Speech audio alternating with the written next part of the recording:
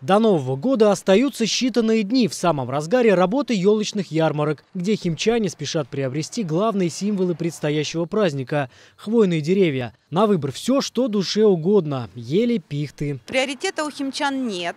Вот, выбирают все. И берут и ели, и елки, и пихты. Вот. На сегодняшний день у нас, как бы, если по подсчету сказать, то можно было так сравнить, что продали одинаковое количество каждой елки. Ну и раскройте небольшой секрет. Вот как выбрать свежую елку?